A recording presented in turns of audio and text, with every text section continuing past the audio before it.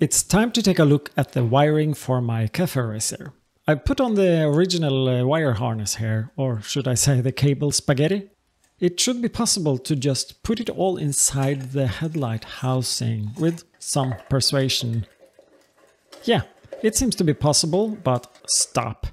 It has to be a better solution to this. Let me rewind and try another approach. My bike has the typical electrical components you find on any classic bike from this era. Let's start with the lights. It has a parking light, which uh, also turns on the rear light, low beam, high beam, turn signals on both sides, and the brake light. For this I really only need 5 wires to the headlight and 4 wires to the rear lights, in addition to a ground wire. Okay, that was the lights. Then let me show you the controls on the handlebar, which of course also needs to be wired up. Normally you find the ignition switch here. I decided to remove it to get the look I was after. It will actually be replaced with a keyless solution. More about that later. I will not be using the original dashboard either. I have replaced it with a smaller one, but I need to find a solution for the indicator lights. Neutral, turn signal, high beam and for the oil pressure warning light. The small speedometer I have found has none of these. I have also decided to replace both the right and left side uh, handlebars. The main reason is this. The clutch lever is very worn and the paint on this handlebar is heavily faded. The handlebar on the right side is in very good condition. I think it must have been replaced by the previous owner. However, they will both be replaced with the aftermarket parts and uh, I will try to achieve a more minimalistic look. The cables from the front light and the handlebar controls follows the frame backwards to the seat tray, where the most of the electrical parts will stay, and I have quite a lot of space here.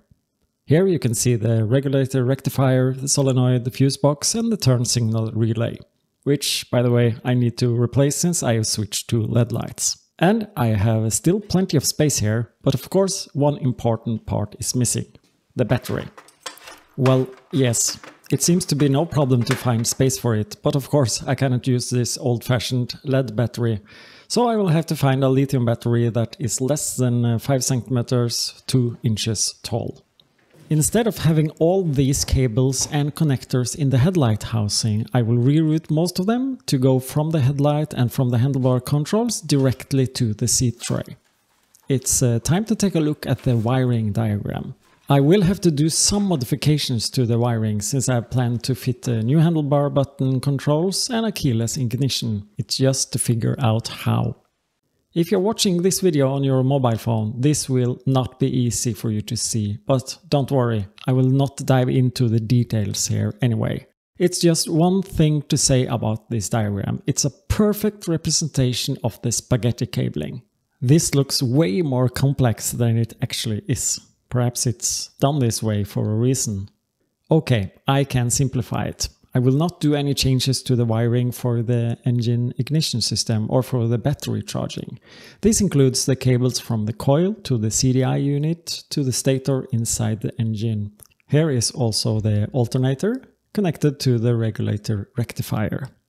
You can see here that uh, this is more or less a separate cabling and I will more or less keep it as is. The connectors are quite huge and the cables are a bit long. This should be easy to tidy up. Removing this part from the diagram should help. And then I can focus on the remaining cables.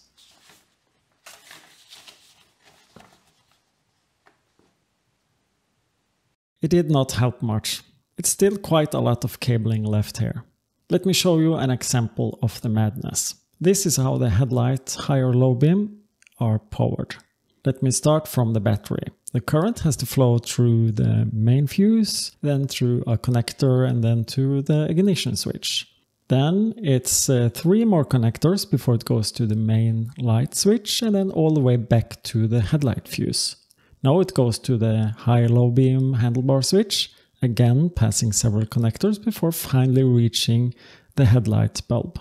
The current also uh, flows through the ground cable, passing uh, four connectors on its way before it ends to the ground connector. In other words, the current flowing through the light bulb will most likely be heavily reduced, causing a poor light beam. It has to flow a very long distance through multiple fuses, connectors and switches, all acting like resistors along the way. I guess you've already noticed that I'm not very happy with this original wiring. And because of this, I have decided to make my own. And I think I've come up with a wiring diagram that is easy to understand, uses very few cables and connectors, and I hope it will be much more efficient than the original one. In my diagram, the top part represents the front of the bike, showing the front light uh, topmost, and the bottom part is uh, the rear of the bike. These uh, are the controls on the handlebar, and uh, these are the parts that will be located in the seat tray.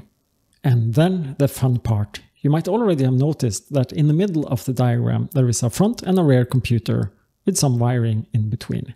The front computer has a display and it enables the keyless ignition. It receives uh, input signals from all the handlebar controls and sends it to the rear computer through a communication cable. The rear computer takes care of delivering current to all of the bike's components through a relay.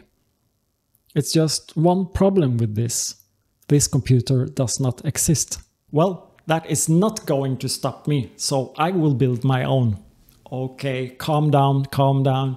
I know some of you will say that uh, you can buy products like this today. And sure, there are some uh, commercial available products that helps with your wiring and have a lot of these uh, functions that I am uh, looking for.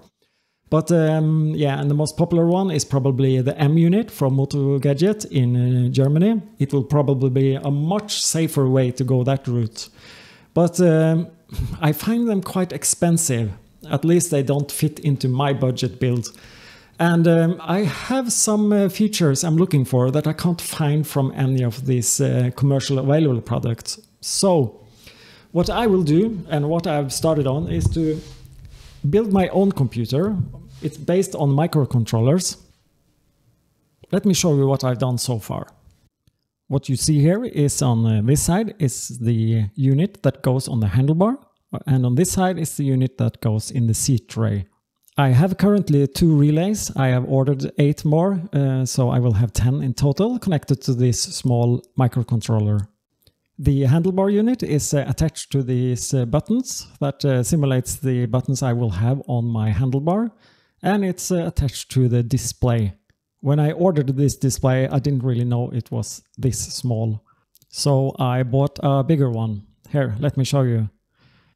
But uh, this one might be too big so maybe I have to order a third one. Let's see uh, how it goes.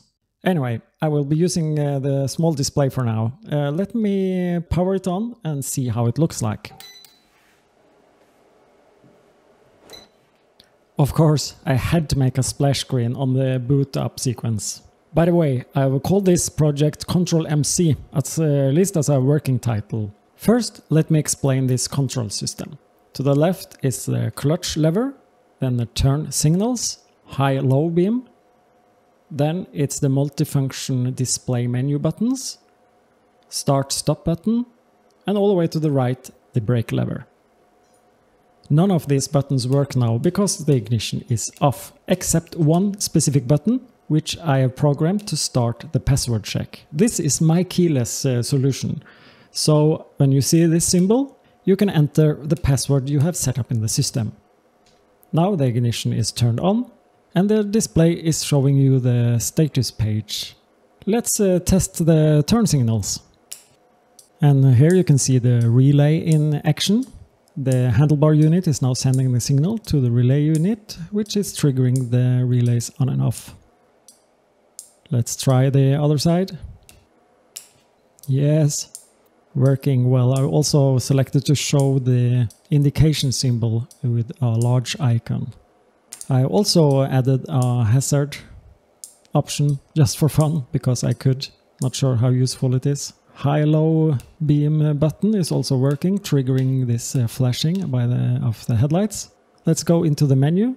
Uh, here I can turn on the lights. It goes through park and then low lights and then you can turn on the high beam and low beam. So uh, this is more or less how it's uh, all working. And if you go into the menu and wait for a while, the system will automatically go back to the status page, which will be the place where you live when you drive with large icons. Let me show you how to turn off the bike. Use the menu selector, go past the light settings, then to the ignition settings and then select to turn off. The bike will be powered down and then all the buttons will be non-responsive until you select to turn the ignition back on. And this is just some of the features I have built and uh, I plan to build. It's just incredible what these small microcontrollers can do. Then I got this thought, okay, I'm building this for my bike, for my needs, but I'm also building it so it can be configured to be used for uh, other bikes, not necessarily for Honda bikes either, because this is quite universal. Do you think this could be something that others could have uh, taken advantage of? Anyway, I have started this as an open source project. That means um, I have a web page uh, in GitHub where I'm publishing all the code and all the instructions. It's not complete yet, but uh, I'm continuously uh, adding all, everything I do to this uh, site. So anyone can download it, take a look at it and even contribute if they would like to. If you know somebody who is both a Arduino uh, developer and motorcycle enthusiast like me, maybe you can uh, send them a message, ask them to check it out. It would be nice if you can have a small community of people that could uh, contribute to this project. And maybe we can end up with a solution that is affordable and um, configurable and suitable for uh, any need because there is a lot of equipment you can attach to this GPS, Wi-Fi, Bluetooth, uh, all kind of sensors. For instance, this small one, I'm gonna attach a temperature sensor, uh, humidity and temperature. It's nice to have. Um, yeah, anyway, and uh, the cost, let me show you. This isn't very expensive. These are the aftermarket parts I'm going to buy to attach to my handlebar. It's very affordable prices for this. And uh, you can see the button. I will try to 3D print something there. If that doesn't work, also possible to buy a complete set of uh, buttons to put on your handlebar. And when it comes to electronics, also quite affordable it's a lot of different kind of uh, microcontrollers and equipment you can buy. But all in all, all the hardware and the electronics, uh, around $100 uh, or more. It depends what you buy, of course. So affordable, flexible, and maybe this can be something. So contact me on Instagram or check out the webpage. Check the description for more info. Maybe this can be big. Thank you for watching.